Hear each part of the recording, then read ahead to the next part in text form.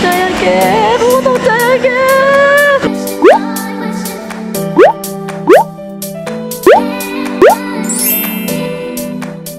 สวัสดีค่ะ พบกับพวกเรากลุ่ม4ค่ะ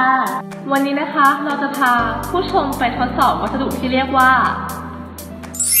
อิฐค่ะ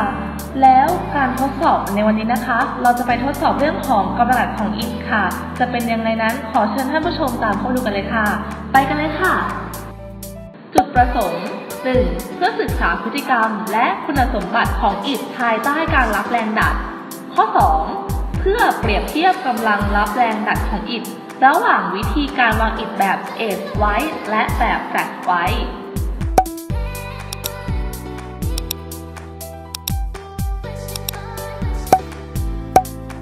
วิธีการทดสอบแบ่งอิฐตัวอย่างเพื่อทำการทดสอบด้านแบนและด้านขอบอย่างละสองก้อน ทำเครื่องหมายที่อิฐตัวอย่าง วัดขนาดมิติต่างๆ ให้ละเอียด แล้วชั่งน้ำหนักโดยอ่านให้ละเอียดถึง 0.5 กรัม เริ่มจากการทดสอบตัวอย่างอิฐด้านแบนก่อน ตั้งฐานรองรับและใช้สเปนเลนส์150มิลลิเมตรและวางตัวอย่างอิฐให้น้ำหนักกระทำตรงกึ่งกลางไปเลนส์พอดีทำการทดศูนย์โดยการกดน้ำหนักลงมาให้ใกล้กับผิวของอิฐตัวอย่าง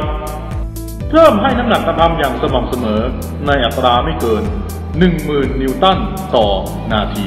หรือใช้ความเร็วไม่เกิน 1 มิลลิเมตรต่อนาที ให้น้ำหนักกระทำจนกระทั่งอิฐพักแล้วบันทึกค่าแรงกระทำสูงสุดวาดรูปลักษณะการปลายของชิ้นส่วนตัวอย่างอิฐทดสอบ จากนั้นในส่วนการทดสอบตัวอย่างอิฐด้านขอบจะใช้การทดสอบในแบบเดียวกัน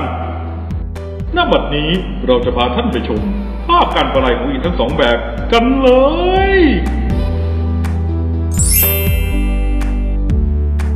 เอาละค่ะสำหรับการทดลองในวันนี้ของเราได้สิ้นสุดลงแล้วนะคะ